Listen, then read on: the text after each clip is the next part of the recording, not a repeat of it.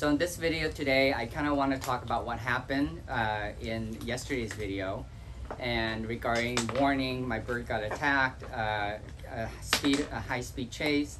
And so what we were doing is we were just going out on, on an ordinary day flying and out of nowhere a falcon, that was the bird, uh, came down diving uh, up high in the sky where I didn't even see it coming uh, after Bruno and Sunshine. And you saw Rudy flying past and it started chasing after uh, Roxy and, and Rudy. And in the video, you saw Roxy flipping sideways, flying sideways, getting ready for that bird as that bird's talons and face is coming towards uh, Roxy. Um, I post that because one, it's it's an adrenaline rush.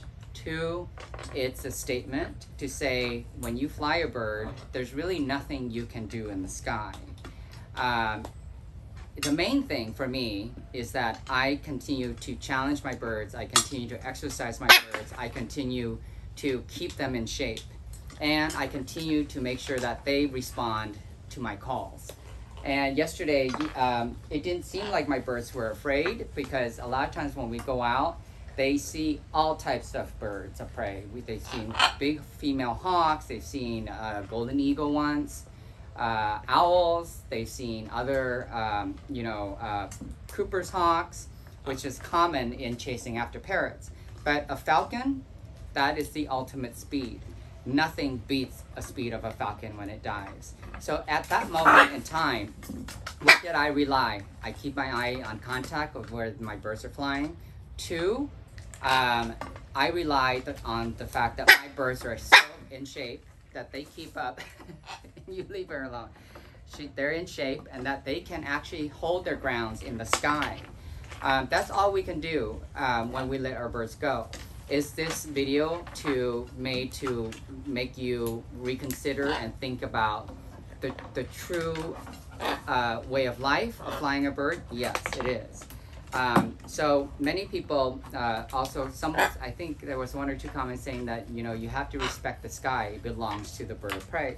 It doesn't belong to the bird of prey, it belongs to all birds. It belongs to all animals that live on earth enjoying the sky. And Anya, hold on a minute. and so my the point of this whole video is just to see you a one glimpse of a reality that can happen. But for all of those who want to consider flying or are flying, it is never safe to fly a bird once a month. It's never safe to fly a bird once a while. It's never safe to say my bird flies indoors and I can take it out to fly. Because, as you can see, Rudy and Bella have been flown for 12 years, going on 13 years or so. And my blues, uh, ranging to, you know, uh, a year to about four, four years or plus, you can see that the falcon had a hard time chasing. Um, at that point, could anything happen? Yes, there could be anything happen. But all we can rely on is the strength of each other's birds and the eyes in the sky. And at this, in this video, they were not even fazed by that falcon. Sometimes when we go out flying, they see other birds of prey and they start screaming. Sometimes they see other birds of prey and they don't want to fly, and you just have to respect that.